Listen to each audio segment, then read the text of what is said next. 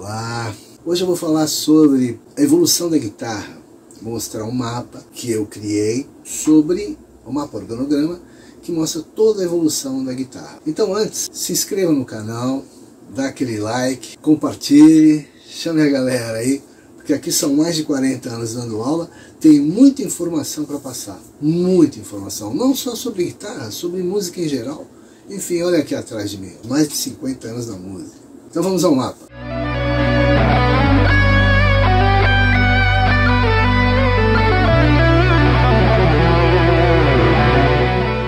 Bem, estamos aqui diante do mapa, a evolução da guitarra e os mais expressivos guitarristas do século XX. Por que, que não está 21? Porque isso aqui foi feito no final do século XX. Muito bem, então vamos explicar a história desse mapa. Esse mapa original, ele, tava, ele foi criado primeiro no setor de jazz, primeiro, basicamente de jazz. É, pelo grande guitarrista, veterano guitarrista de São Paulo, capital, Aldo Landi que é um guitarrista uh, veterano. Ele já dava aula nos anos 70 aqui em São Paulo e tudo mais. Antes mesmo da, da minha geração começar a dar aula, né, eu, Mozart Mello e outros que já começamos a dar aula entre o final de 70 e começo dos 80, o Aldo Landi já dava aula e ele já tinha um mapa prévio sobre isso na área de jazz. Quando foi no final dos anos 90, já come quase começo dos anos 2000, ele me autorizou a usar o mapa dele e que eu uh, ampliasse. E eu ampliei, porque eu incluí rock e eu uh, fui buscar as origens da guitarra lá no violão clássico, etc. e tal. Então, a, a ideia é, é, tentar compreender esse mapa aqui da maneira é, mais clara possível. Primeiramente, evolução é uma palavra que às vezes pode confundir a gente, porque evolução pode parecer que é algo que se desenvolve crescendo, subindo, melhorando, evoluindo. Não necessariamente isso. Não vale só para guitarra, vale na área científica. Quando a gente fala de evolução, não quer dizer que essa evolução numa linha do tempo traga realmente algo que estejamos evoluindo. Por exemplo, na guitarra, houve uma evolução na parte de engenharia, de tecnologia? Sim, com certeza que não existia antes. Antes do século XIX nem existia guitarra elétrica, né? existia guitarra acústica, mas não guitarra elétrica. Então surgiram os equipamentos, os multi-efeitos, etc. E tal, que surgiram já no, no século XX, a partir principalmente da década de 60. Agora, do ponto de vista musical, o que realmente evoluiu? Como que nós podemos chamar de evolução? É, quem tem uma visão clara da história da música ocidental sabe o que eu estou querendo dizer porque nós viemos lá da polifonia de um bar e de outros anteriores, que é uma música super sofisticada, super já avançada, e, e retroagimos, entre aspas, né? Retroagimos para a homofonia, que é a melodia acompanhada por uma harmonia. Então, a evolução é um termo meio complicado. Mas seguindo esse mapa aqui, seguindo esse mapa, onde eu quero dizer, a guitarra, o nome guitarra, se refere a instrumentos de, de cordas, né, muito antigo. A família das cordas são muito antigas. A família das guitarras, inclusive, né, desde lá da guitarra mourisca, guitarra medieval, etc. Então, o tal do violão clássico é a guitarra clássica, na realidade. Então, já existia né, muitos compositores para guitarra clássica antes do século XIX. Francisco Targa, por exemplo, é começo do século XX, eh, começo do século XX. André Segovia é século XX. Abel Calevar é mais recente ainda. Essa guitarra aqui é, é, a base anterior de todo o resto da guitarra elétrica. A guitarra flamenca, ela vai meio que em paralelo.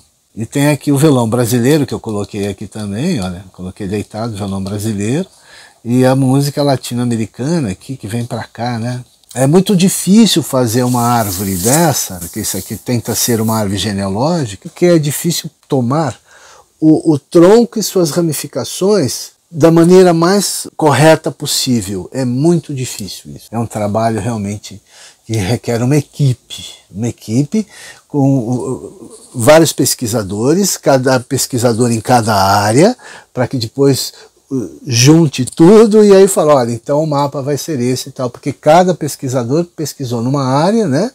E aí junta tudo para poder chegar no mapa desse. Então, só uma pessoa sozinha fazer é muito difícil. E eu parti, como eu disse no começo, do mapa do Aldo Land. Aí eu ampliei e revisei. esses violonistas aqui, que a gente chama de violão no Brasil, mas na realidade é guitarra, né? A guitarra já é muito antiga, são muitas guitarras. E aí a guitarra elétrica só surge no século XX. E aí vai dar origem a toda essa guitarra que nós temos até os nossos dias, até agora o século XXI. Né? Estamos em 2023, que eu estou gravando esse vídeo. Então são muitas vertentes da guitarra. O que acontece é que tem que pegar pelos estilos. Qual o estilo mais antigo? Então o blues acústico é o mais antigo. Na cronologia é o blues e o country. Porque o blues surge já no século XIX, uma situação já embrionária. E a country music, lá nos Estados Unidos, que é uma música fundamentalmente branca, ao passo que o blues é fundamentalmente negro, é essas, essas, esses dois troncos musicais, vamos chamar de tronco, já existiam no século XIX. Quando chega no século XX é que vai tomar a forma real do, do que conhecemos hoje. O jazz só surge oficialmente a partir da década de 20, de 1925 e tal. Antes disso é o ragtime, que é o começo do século XX. Django Reinhardt é um dos primeiros que aparece ali e tal. O elenco de guitarristas do jazz é muito grande. É muito grande, desde os anos 20 até os nossos dias é muito grande. Assim como o elenco de guitarristas do blues também é muito grande. Quem aparece por último, na realidade, é o rock. O rock só vai aparecer, toda essa gama aqui de roqueiros aqui, só vai aparecer uh, a partir da década de 50, que é o rock and roll, e nos anos 60 é o rock propriamente dito. Então, esses guitarristas todos aqui, jazz acústico jazz elétrico, são todos os caras do jazz mesmo, até chegar no progressivo. Anteriormente, você tinha então os guitarristas de blues e de country, mas a guitarra elétrica só surge mesmo para valer porque é o eletroacústico, né? Então, o eletroacústico ele só surge mesmo é, que era a guitarra eletroacústica, lá pelos anos 20, 30 já tinha a guitarra eletroacústica. Antes disso até já tinha instrumento elétrico, porque o Thomas Edison já tinha inventado o violino elétrico. E o Rickenbacker, Adolf Rickenbacker, já nos anos 20 já experimentava captadores, etc e tal, para a guitarra, aquela steel guitar, a guitarra havaiana. A guitarra havaiana que era moda nos anos 20 lá nos Estados Unidos. Então já existia a guitarra acústica, né, eletroacústica, já nos anos 20, 30, 40. Mas só no final dos 40, na realidade, da metade dos 40 para frente, é que vai surgir a guitarra maciça, e que essa sim vai servir ao rock. Essa sim. Então você tem lá o Léo Fender, que cria a guitarra maciça, a primeira que ele cria a Broadcaster, depois em seguida a Telecaster e depois a Stratocaster. Né? A Broadcast acho que é de 48, a Telecaster de 52, de 1952, e a Stratocaster 1956. E paralelamente o Les Paul está inventando a, a, a, Gibson Les Paul, né? que a Gibson já era da, da Epiphone, e porque o Orville Gibson, que foi o cara que inventou a Gibson, ele morreu em 1918, então ele não viu o que aconteceu com o nome dele. Né? É bom lembrar isso. E então o grande guitarrista Les Paul, que foi um dos maiores da história da guitarra, criou depois esse modelo da Les Paul, que é o que pegou. Então me parece que o mercado ficou dividido entre modelo, aquele shape da, da, da, da Fender, né? criada pelo Léo Fender, que são os modelos basicamente Stratocaster e Telecaster, tem outros modelos, né? Jaguar, etc e tal. Mas essas duas parece que deram a, as bases para os shapes dos, das guitarras que foram vindo.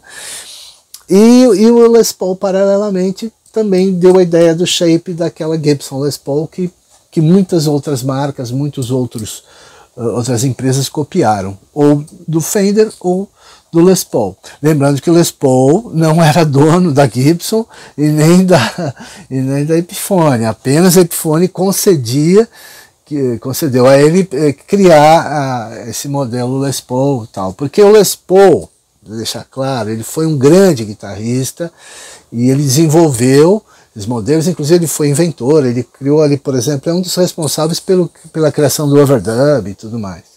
Ao passo que o Léo Fender não era guitarrista, não era músico, Léo Fender era técnico de rádio que resolveu começar a fabricar guitarra. Mas teve muita sorte na vida porque as guitarras dele foram aceitas, né? Então o que acontece? Esse mapa aqui tenta mostrar a evolução da guitarra através dos nomes dos guitarristas, entende? Então você vê aqui na área do violão clássico voltando, né? Alguns dos nomes mais importantes, como Francisco Targa, André Segovia, tem uns nomes interessantes aqui, Napoleão Costa, Dionísio Aguado, Fernando Souza, é tudo do século XIX. No violão flamenco tem vários. No violão brasileiro, o violão brasileiro é mais moderno, né? O violão brasileiro surge mesmo no século XX, né? Não surge antes disso. Uh, e, e com, com representação mesmo, com protagonismo a partir da bossa nova, né? Violão instrumental brasileiro, mas já existia antes disso. Né? O Garoto, por exemplo, já era um dos caras que já estava fazendo essa, essa fusão da guitarra, da guitarra, da música brasileira com o jazz. Já fazia essa fusão, do samba com o jazz, aqui em São Paulo, antes da própria Bossa Nova. Então tem alguns nomes que eu coloquei aqui e tal, né, que são representativos. O rock só surge na década de 50. Então, antes disso, você tem o blues. E aí você tem um, muitos nomes de bluseiros que não cabem aqui. Né? Eu só coloquei alguns nomes importantes. E surge, e, e, paralelamente, de country. E aí de country você tem muitos guitarristas da country music, muitos guitarristas importantes. Depois você tem aqui, no jazz, alguns nomes importantes também jazz acústico e o jazz elétrico. São vários nomes, olha. Né? Por exemplo, se eu for pegar lá atrás do jazz, olha lá, Lonnie Johnson, John Reinhardt, Charlie Bird, Chet Atkins, mas são nomes, assim, tem muitos nomes aqui no meio. Para chegar daqui até que tem muitos nomes. Eu tenho uma lista enorme que não coube aqui, não cabe.